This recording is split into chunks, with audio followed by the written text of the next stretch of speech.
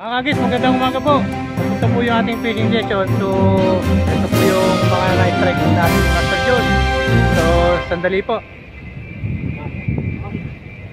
Ha? Ah, ito na po yung na-strike namin, oh. Oh, dito pa tayo. Para kay Utoy.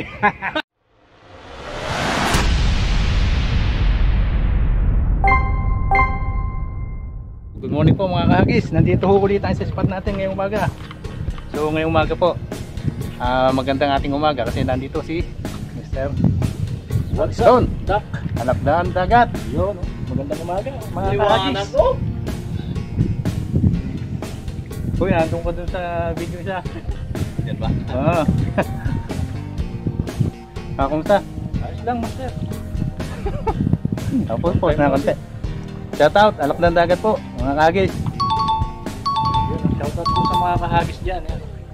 Magandang umaga po sa inyo. Yeah. Iya. Ah, nakadali na naman si Chef John. Ayan, ano, ano. Oh.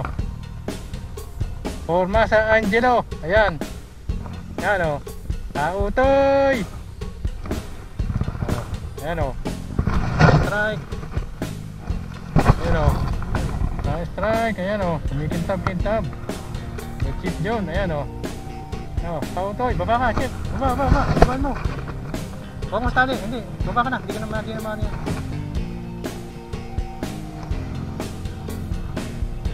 Tali mo hawakan tali. Ingat ka dyan. Huwag mo tali. Okay? Oh, yeah. Cover. Galing.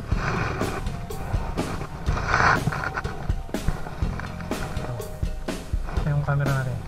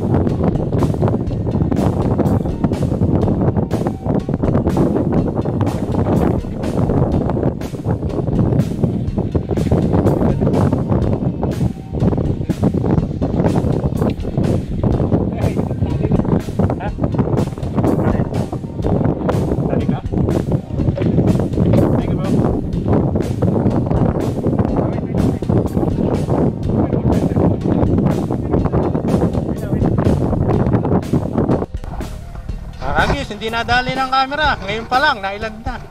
Sorry po. Galing ni Jollibee.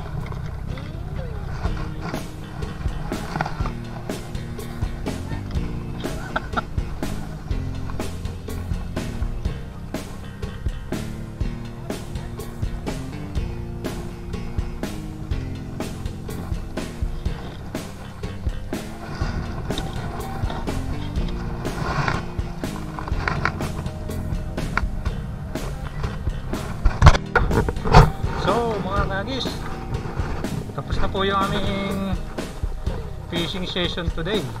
Itong linggo to. Naulit na naman po. Gaya po last week. Hindi ko mabilang eh.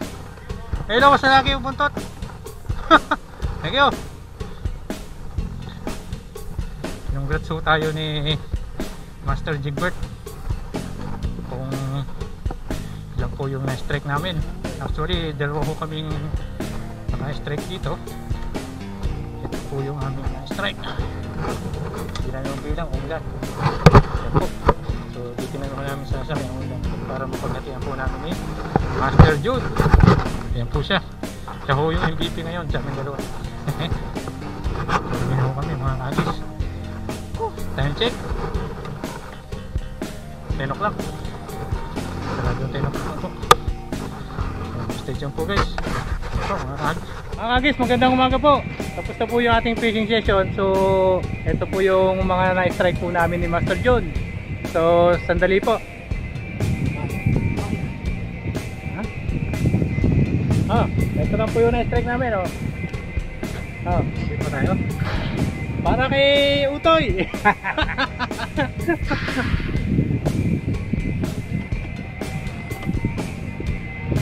Sige po, maraming salamat.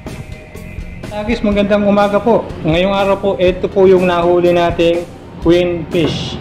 Bali po, ang paglilinis na ginagawa ko rito, tatanggalin, kakaskasin ko yung buong katawan niya ng knife para matanggal yung laway-laway niya o yung lansa niya. Then, putol ulo lang po, tsaka buntot, tanggal na yung ulo. Bali po, nandiyo sa basura na po yung ulo niya. Yun ang hong gagawin natin paglilinis. Yung usually ganun ang ginagawa ko. Tapo na ho yung ulo, tsaka buntot, laman loob. At tsaka gagawin po natin, ganyan ang paglilinis. At uh, isusok po natin siya sa tubig na merong asin para po mawala po yung pagka-stinky niya sa balat niya. So, ang gagawin po natin dito, lumpia. Lumpia po mga kagis. Catch and cook po tayo ngayong araw. Queen fish, catch and cook. Stay tuned po guys! Agis, magandang hapon po, magandang gabi.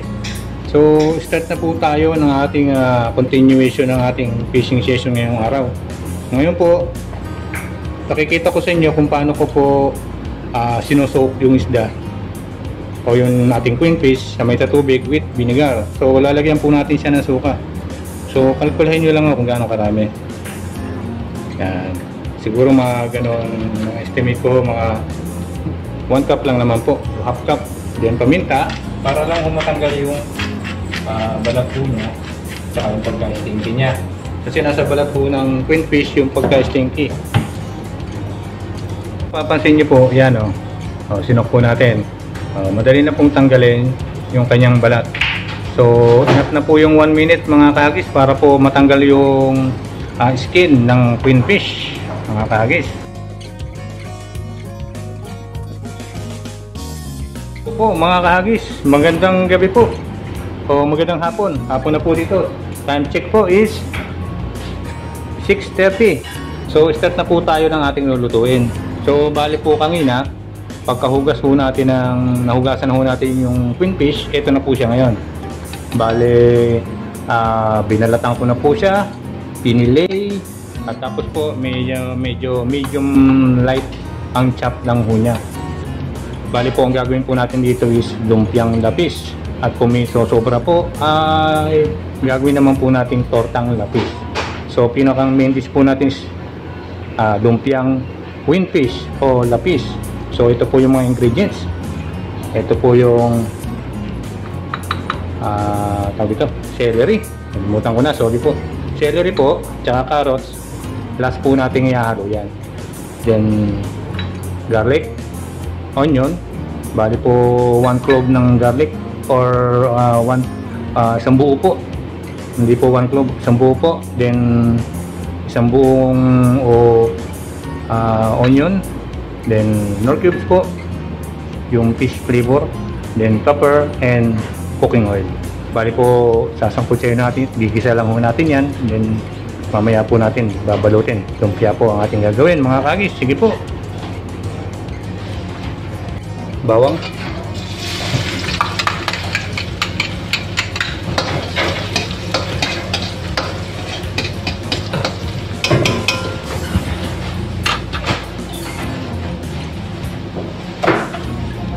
Make it golden brown po yung bawang.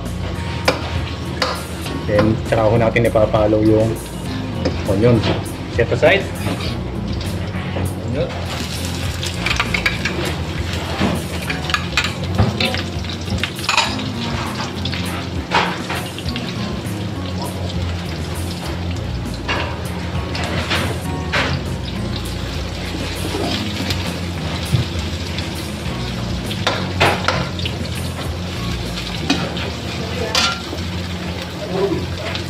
Excuse me.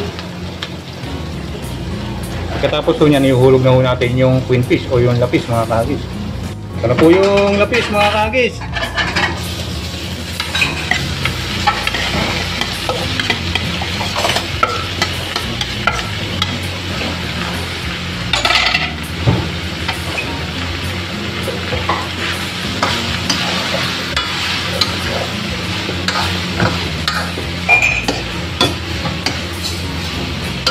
Sutay-sutay lang po.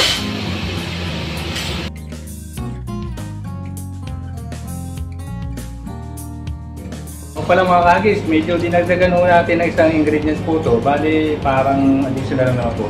Dahon po ng laurel para po mas mabango po siya. Ihalo na ho natin yung carrot. Na po yung carrot. Ah, yung celery. Bali po mga kagis, sa huli natin ihalo itong celery at carrot. Kasi baka ma-overcook kung sasabay natin sa paggisa.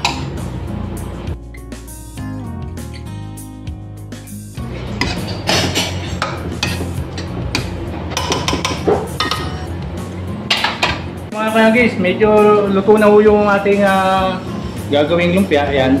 Huwag na ho natin tatakpan. Ang gagawin po natin. Huwag na ho tatakpan para medyo makakudaw ho yung init niya. So, station po.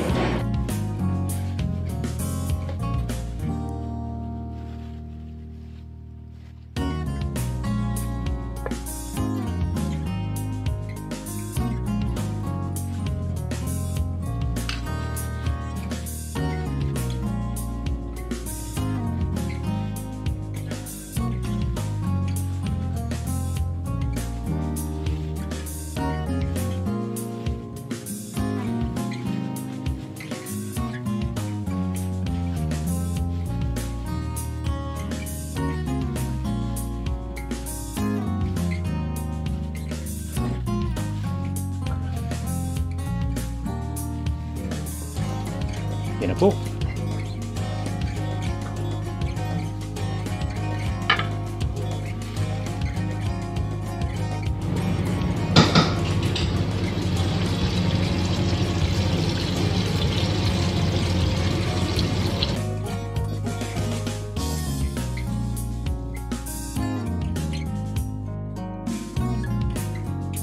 Ah, Thank you. patingin, patingin. Thank you. Sige. Guys, luto na! Ah! Happy birthday! Ah, tingin, tingin, tingin. Ano to? natin yung ano. Ako muna para... Wala na sa. Ayos? Ayos, hindi tayo maniniwala dyan. Tikim din tayo para tikim. Para tiwala kami. Bagas! Ito na yung lapis ko. Eh, di mo nga. Yummy. Ah, walang nasabi. Thank you po. Ayos pa. Tama. Yung lapis ko, mga kagis. Thank you. Thank you. Doon, tigba. Kasi